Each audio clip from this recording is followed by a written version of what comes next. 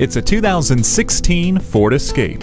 Forget about where you're going, because in this Escape, it's all about the journey. This crossover SUV is one of the best athletes in its class, with precise steering and sharp cornering. To help with accelerating through a corner, Torque Vectoring Control adjusts the speed between the front wheels to enhance agility. You'll effectively escape unnecessary drag and increase gas mileage automatically with the active grille shutters. It's also suitably equipped with a rear view camera, personal safety system, integrated blind spot mirrors, and MyKey. See objects previously out of sight with a rear view camera.